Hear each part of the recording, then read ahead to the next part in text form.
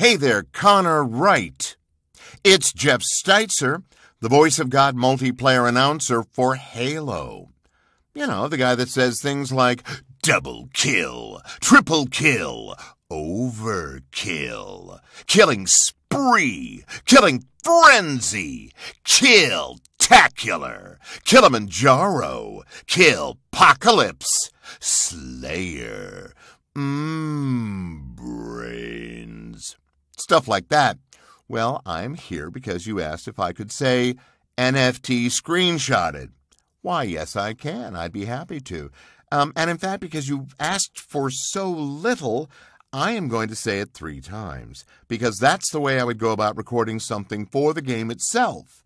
Um, when I first started recording, way back in 2001, over 20 years ago, um, I remember that we would do three takes of each line, at least. And then if there were no problems, I'd move on to the next line and the next line and the next line. And back in those days, there were many, many lines. Um, occasionally, the producer would say, Could you give me three more?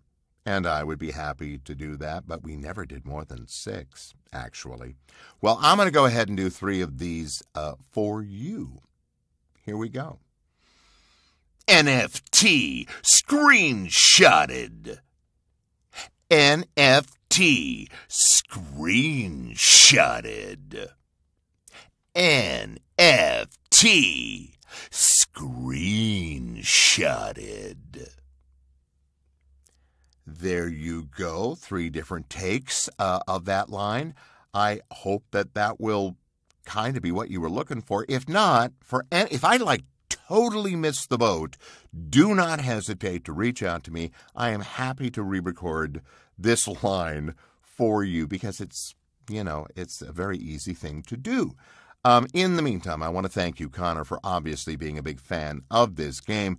As I have said quite often now on Cameo, I am so incredibly grateful to the fans of this game. For many, many years, I didn't ever have any interaction with them. It really wasn't until I started doing these requests, as well as now I'm starting to do uh, conventions. I did a virtual convention last fall, and I'm going to be doing a real in person convention coming up on the 19th of this month in Puyallup, Washington, the Washington State Fairgrounds with Jen Taylor and Steve Downes. That'll be fun.